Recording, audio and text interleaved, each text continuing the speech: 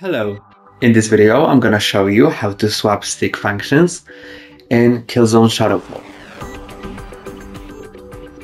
First, press on option button, then press on R1 to go to controller, then go to the bottom and use your left stick to enable it or disable it.